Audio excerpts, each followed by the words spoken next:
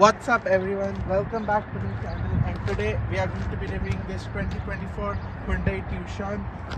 Now when you come into the front end, we have this massive black grille over here with the Hyundai logo on the center. Then these are our gorgeous DRLs that get integrated into the grille. Then these are our headlamps with the low beam and the high beam. And then these are our turn indicators.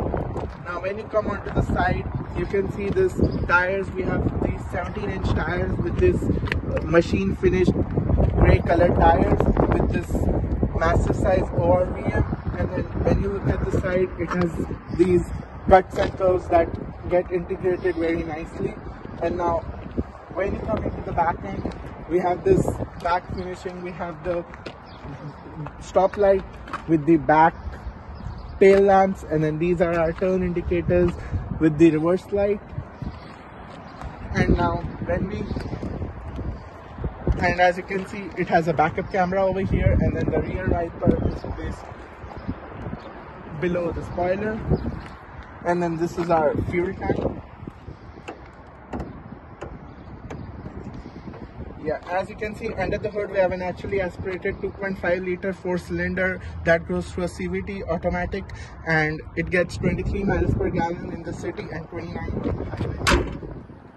Now when we step inside the vehicle we can see this is our door trim panel. This this is this black strip that looks nice. Then there's hard materials here hard plastic. Here it's soft touch. And then over here we can see this is our door handle silver that looks awesome. And then these are to adjust our mirrors. And this is to select the side of our mirrors. Then we have the unlock and lock functions. And then these are are all four power windows with one touch up and one touch down for the driver and passenger. Then this is to lock our windows. Then down here we have the speaker and some space with the cup holders. Now when we step inside the vehicle we see we have these cloth leather cloth seats then those are electrically adjustable. This is to move them forward and back. This is the recline angle and this is for our lumbar support. And then here we have this steering wheel. We have a little bit black piano finish over here and then a plastic steering wheel. But the design is pretty nice. It is a two-spoke steering wheel. And then here we have all the functions for the uh, lane keep assist lane following assist adaptive cruise control. And then this is this is the volume up down and then these buttons are to toggle the instrument cluster. Then this is our instrument cluster. It's analog. So here is our speedometer. Then here we have our rpm meter. Then here is our fuel indicator level. And this is to tell the engine temperature. And then this is all analog. And you can see the range up to clear over there like 265 miles. And then this is the mileage over here 322 miles. Then moving on to the side we have this infotainment system. We have these this is a 8 inch unit and then we have these buttons. It looks like it's integrated into the screen. This looks good. And then there's a separate controls for our automatic climate control. So this is to increase or decrease the temperature. Then we have the auto button. And then this is to change our fan speed. This is the AC button. We have the front defogger rear defogger diffuse and then there's a button for diffuse. If you don't want the air to come directly at your face you can make it circulate on the vehicle. And then media to change the mode. Yeah the media is there to change the mode. And then this is now as you can see these are our gorgeous AC vents. And then this perforations with the strip continues all the way through that side to the passenger seat and you can see the AC vents look good and then the black accenting continues over there. Now when we come onto the center console we can see we have a wireless charging pad over here. So this is our wireless charging pad. Some storage space there the usb wireless charging pad storage space the usb uh, slot there. Then we have this 12 volt socket and then here we indicates here the light indicates that the phone is being connected to the wireless charger then there's a usb port. And then this is our very stylish gear shifter. And then here we have some controls. This is to switch off the automatic start stop function. Then this is for the backup camera. It's clear. And then it has the where you turn the steering wheel there its trajectory will move. So it's a it moves with the steering wheel.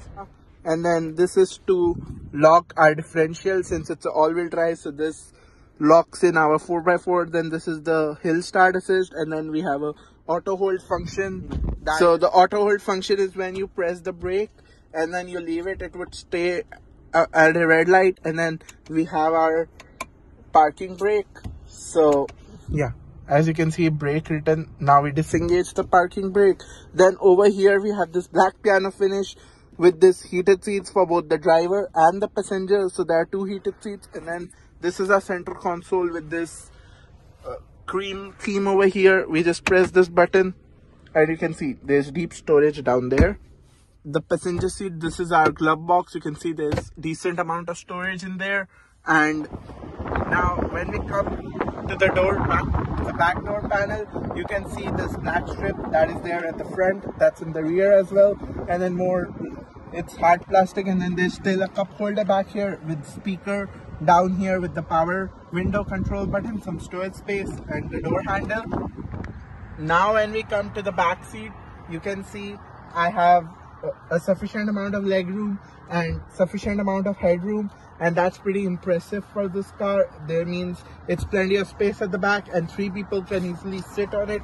Now as you can see we have two cup holders and an armrest at the back as well and then we have AC vents for the rear passengers and then two USB ports as well to charge your devices in the back seat. And overall it's pretty spacious and good. Handle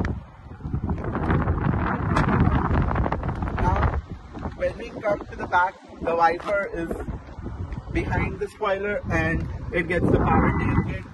So now this is how it opens.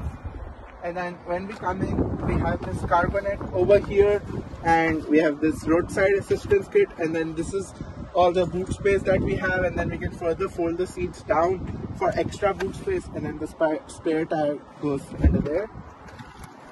Yeah, it's a pretty big boot close it. Now when we come to the other side, we can see this silver accenting down here with this design that and now as for the key you can see it has the lock unlock. With this we can open the boot. This is for the horn and this is for the remote start. Now with the remote start first you press the lock button and then you keep holding the arrow that says hold. And you can hear the car's engine it has just started and this is how the front look comes. With it now we can close it. The remote start has been now you can see this is the this is how the key looks from the behind. And now in terms of features it has the blind spot monitor over here. And that triangle would light up with according to the screen so now we are going to be testing its ride quality. And let's see how it rides.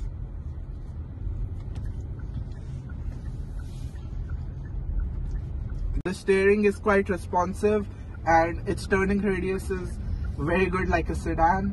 And it can it can take tight turns as well but it is a large vehicle so its its seat is height adjustable which helps it to look in front of the hood and makes driving easier and the steering wheel is light enough not super hard like big SUVs have it.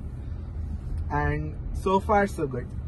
Thank you so much guys for watching. Hope you enjoyed this video. If you did enjoy it. Hit that like button hit that subscribe button and share it with as many people as possible so I can get more videos for you just like this